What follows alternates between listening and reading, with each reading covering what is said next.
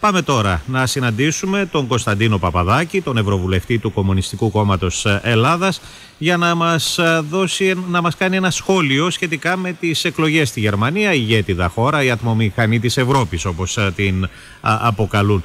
Καλησπέρα σας κύριε Παπαδάκη. Καλησπέρα σας, να είστε καλά.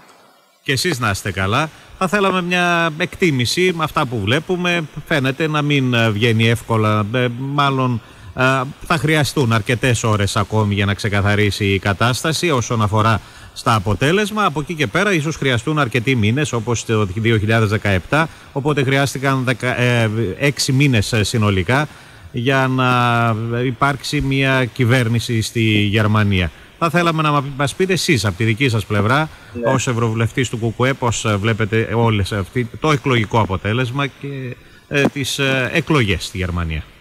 Κοιτάξτε, καταρχήν να κρατήσουμε μια επιφύλαξη. Είναι, όπως είπατε και εσείς, ανοιχτά τα, τα, το τελικό αποτέλεσμα. Όμως, σε κάθε περίπτωση, ε, επειδή επιχειρείται και από απευθείας μεταδόσεις και από τα κανάλια, να δοθεί μια εντύπωση ότι θα δούμε ένα έργο πρώτης προβολής από αύριο στη Γερμανία.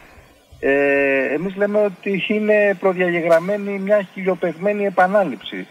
Ε, και ανεξάρτητα αν αλλάξει ο καγκελάριος, ε, θα λέγαμε ότι και στη Γερμανία, στην ατμομηχανή, όπως είπα, της Ευρωπαϊκής Ένωσης και της Ευρωζώνης, όλες οι εκδοχές κυβερνήσεων έχουν δοκιμαστεί και σε ομοσπονδιακό επίπεδο και στα διάφορα κρατήδια. Βεβαίως που εκεί ε, υπάρχει ε, ακόμα μεγαλύτερη πείρα τέτοιας διαχείρισης από όλα τα κόμματα και συμπράξεων και συνεργασιών. Ε, οπότε το να καλλιεργείται μια λογική ότι από τη μια θα έχουμε το φως ή το σκοτάδι και, να, και το θρίλερ και το δίλημα ε, ανάμεσα στον αντικαταστάτη στο κόμμα της Μέρκελ ή ε, αν ε, ο καγκελάριος θα γίνει ο βασικός υπουργός της Μέρκελ ε, που ήταν ο Σόλτς όλα αυτά τα χρόνια. και το λέμε αυτό γιατί έχουμε δεδομένα, έχουμε τα 12 χρόνια μεγάλου συνασπισμού όλων των αποχρώσεων αστικών κυβερνήσεων και έχει αποδειχθεί ότι όλοι μπορούν να πάνε με όλους και αποδεδειγμένα όλοι πήγαν με όλους, δεν έχουν τέτοια προβλήματα ο Σόλτς, γιατί ακούμε και τη συζήτηση περί στροφής αριστερής και διάφορα τέτοια. Ο Σόλτς το 2017 αντικατέστησε ως Υπουργός Οικονομικών τον Σόιμπλε στη Γερμανία. Και ακουγόταν και τότε όλα αυτά ότι θα τερμάτιζε την πολιτική λιτότητα της Ευρωπαϊκής Ένωσης και όλα αυτά. Και αυτά διαψεύστηκαν.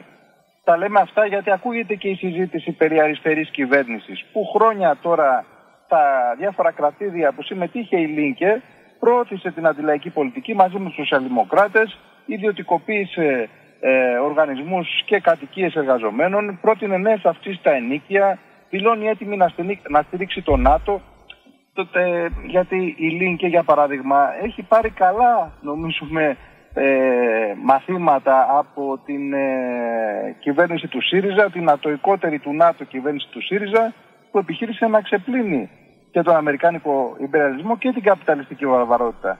Άρα λοιπόν όλη αυτή, όλη αυτή η συζήτηση περιραίουσα ε, χρειάζεται να μπει στις πραγματικές διαστάσεις για να δούμε την επόμενη μέρα.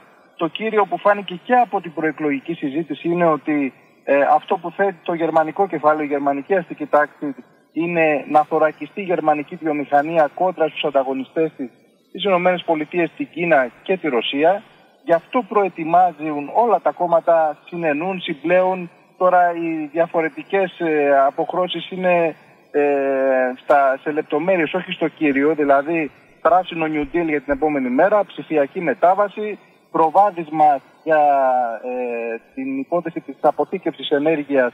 Αυτές είναι οι, οι βασικές προτεραιότητες του γερμανικού κεφαλαίου και γνωρίζοντας καλά ότι θα υπάρχει σφοδρός ανταγωνισμός με ΙΠΑ, Κίνα και Ρωσία, ε, προετοιμάζει και, ε, προετοιμάζεται και πολεμικά ε, και με αυτοτελή παρουσία της Ευρωπαϊκής Ένωσης με ευρωστρατό, άλλωστε πρωτοστατεί η Γερμανία σε αυτή την υπόθεση και ε, θα λέγαμε ότι με βάση αυτές τις προτεραιότητες του γερμανικού κεφαλαίου θα πρέπει να εξετάσουμε και την εξωτερική πολιτική της Γερμανίας.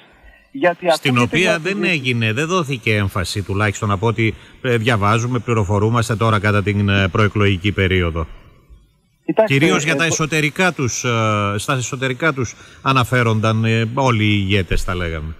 Κοιτάξτε, όταν κρίνεται το τι, ε, τι προτεραιότητες θα χαραχτεί από το γερμανικό κεφάλαιο για, την, ε, για, τους για την πράσινη λεγόμενη μετάβαση, ε, τα ψηφιακά και όλα αυτά, είναι οι προϋποθέσεις για να έχει η Γερμανία ισχυρότερη θέση στην, ε, στις ε, ε, παγκόσμιες εξελίξεις και στο διεθνές καπιταλιστικό σύστημα και στους ποδρούς ανταγωνισμούς. Γι' αυτό λοιπόν ε, έγινε μια συζήτηση ε, επί της ουσίας ποιες είναι οι προτεραιότητες του κεφαλαίου και βεβαίως ε, από αυτές απουσιάζουν τα συμφέροντα των λαών.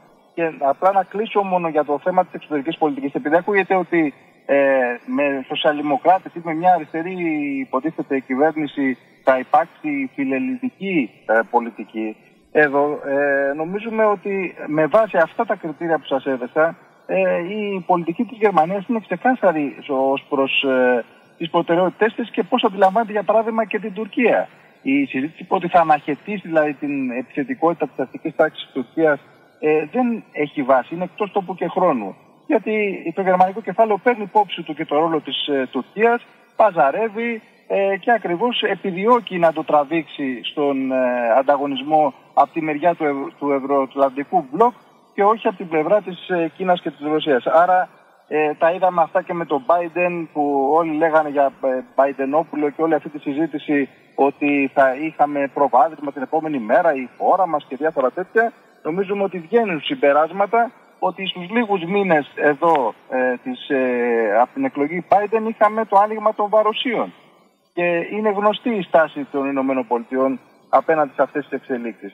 Άρα λοιπόν, ε, εν κατακλείδη, το κύριο για μας, γιατί ένας κόσμος τώρα με αφορμή τις γερμανικές εκλογές στείνει το αυτή του τι γίνεται στη Γερμανία, το κύριο είναι να αναδειχθεί ότι εν έτη 2021 στη Γερμανία, οι Γερμανοί εργαζόμενοι ζουν με ορομίστιο και όχι το μισθό, δηλαδή ε, υπολογίζεται η αμοιβή τους με βάση την ώρα, αυτό σημαίνει ότι είναι ακόμα πιο εκτεθειμένοι στις ελαστικές σχέσεις εργασίας, δουλεύουν λιγότερες ώρες με ακόμα πιο εξωθενωτικά ε, με πιο εξω, εξωθενωτικούς όρους, με συντάξεις κάτω από το όριο της φτώχειας, με επικουρικές των 55 ευρώ μέσω όρο που είναι ε, αποτέλεσμα του τζογαρίσματος ανάλογο με το ατομικό κουμπαρά που προωθεί τώρα η κυβέρνηση της Νέας Δημοκρατίας, ξυλώνονται προνοιακά επι, επιδόματα ή όποιες, ε, τα, τα όποια επιδόματα των ανέργων ε, και ζουν και βασιλεύουν τα εκτελεστικά mini jobs, τα επιδόματα πείνας των, του Hart Sphere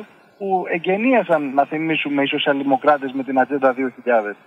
Ε, ε, άρα λοιπόν από αυτή την πλευρά και θυμόμενοι και τις πρόσφατες πλημμύρες στη Γερμανία που ο λαός ο γερμανικός έζησε τι σημαίνει ε, να μην υπάρχει αντιπλημμυρική θωράκιση γιατί θεωρείται κόστος στην ατμομηχανή της ε, Ευρωπαϊκής Ένωσης στη Γερμανία ε, όπως επίσης και τέλος με την υπόθεση με τα ενίκια που είναι ένα σοβαρό κεφάλαιο. Μάλιστα ταυτόχρονα με τις εκλογές στο Βερολίνο γίνεται και ένα δημοψήφισμα το οποίο δεν έχει αποφασιστική σημασία και γίνεται ε, επί της ουσίας για να θολώσει τα νερά.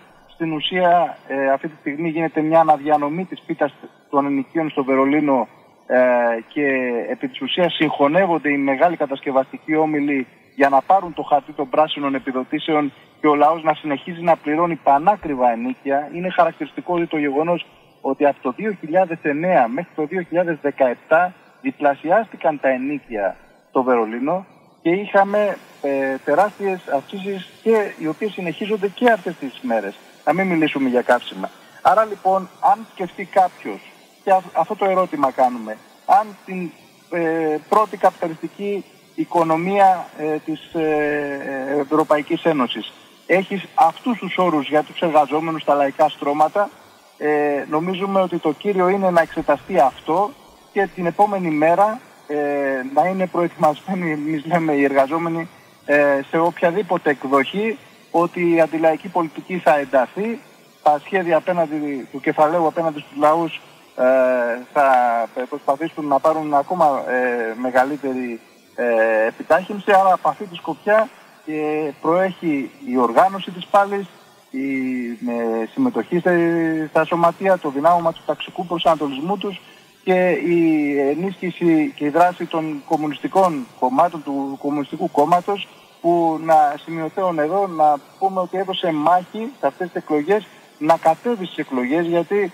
ε, του είχε απαγορευτεί η συμμετοχή του από την Εφορευτική Επιτροπή και παρόλα αυτά με ε, αγώνα και μεγάλη ε, αλληλεγγύη ε, ανατράπηκε αυτή η απόφαση και συμμετείχε στις εκλογές. Αλλά σε κάθε περίπτωση ε, το κύριο είναι οι λαοί να χειραφετηθούν, να οργανωθούν απέναντι στον πραγματικό αντίπαλο, την εξουσία του κεφαλαίου στην Ευρωπαϊκή Ένωση γιατί εντός των πλαισίων τους δεν υπάρχει διέξοδος και προοπτική. Μόνο με τον αγώνα τους και την οργανωμένη τους πάλι μπορούν να δώσουν δύναμη και διέξοδο ε, στις δικές τους ανάγκες. Κωνσταντίνος Παπαδάκης, Ευρωβουλευτής του ΚΚΕ. Κύριε Παπαδάκη, σας ευχαριστώ πολύ για την επικοινωνία. Να είστε καλά. Καλό σας βράδυ.